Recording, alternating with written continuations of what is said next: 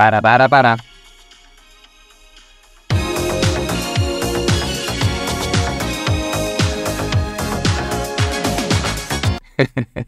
Allora, perché ho deciso di scimmiottare eh, Rick Astley? Sinceramente, ogni volta che vedo Never Gonna Give You Up, che me lo facciano per scherzo oppure perché ci capita sopra, siccome è diventato diventata una canzone di successo planetario. Insomma, io ogni volta che vedo lui ballare in questo video mi spacco dalle risate. Boh, non so per quale motivo, però forse il mio suggerimento è che in quel video forse non avrebbe dovuto ballare, ma ovviamente è solo un'opinione personale. Dunque, sicuramente non avrei dovuto farlo io.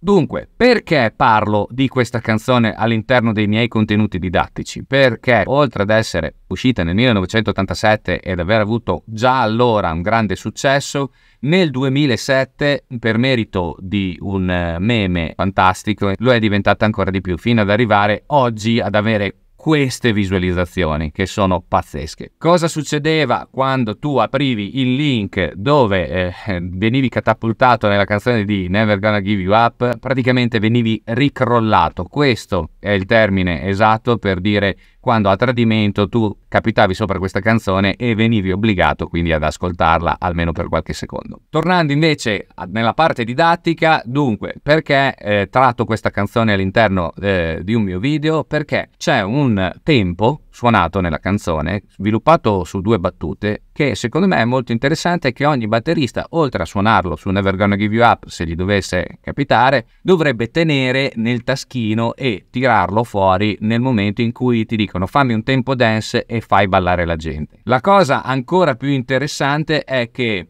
Dietro a questo c'è un batterista strafamoso, ma un batterista che non mi sarei mai aspettato, che è questo.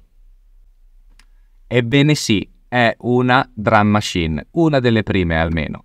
Quindi nessun batterista famoso oggi di cui parlare, ma solamente un tempo da imparare e da tenere, da tenere lì eh, pronto per essere suonato quando dobbiamo far ballare. Bando alle ciance, adesso cominciamo a sviscerare il tempo sulla batteria. Abbiamo quindi detto che il tempo è diviso in due battute. La prima battuta fa così. Sul primo ottavo del primo quarto metteremo una cassa e sul secondo ottavo un'apertura di Charlie.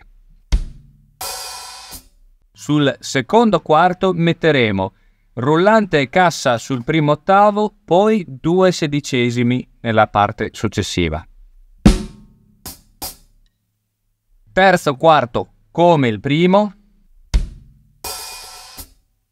quarto quarto ancora come il terzo e come il primo, ma con l'aggiunta del rullante insieme alla cassa. Seconda battuta, identica alla prima, ma l'unica cosa che cambia è il quarto movimento, che anziché avere l'apertura di Charleston sull'ottavo in levare, avremo ancora due sedicesimi col Charleston chiuso. Quindi la battuta intera fa così.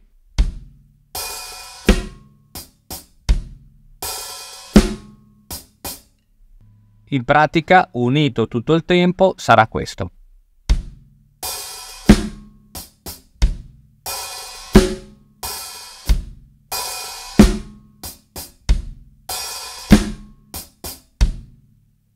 Proviamolo sul tempo.